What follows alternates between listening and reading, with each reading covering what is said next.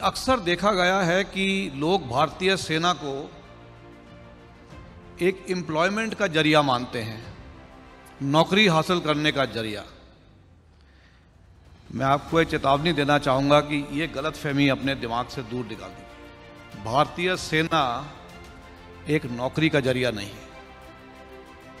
अगर आपने भारतीय सेना में शामिल होना है तो आपको शारीरिक और मानसिक रूप से हर तरीके से आपको मजबूती दिखानी है। आपका हौसला बुलंद होना चाहिए। आपको कठिन से कठिन समस्याओं का सामना करने के लिए आप में ताकत होनी चाहिए। जहाँ रास्ता नहीं निकल सकता, वहाँ रास्ता ढूँढने की काबिलियत होनी चाहिए। तभी आप सही भारतीय सेना के जवान कहलाए जाएँगे। बैठे वो इधर आएँगे हम उन्हें रिसीव कर रहे हैं। और रिसीव करके हम ढाई फुट ज़मीन के नीचे उन्हें भेज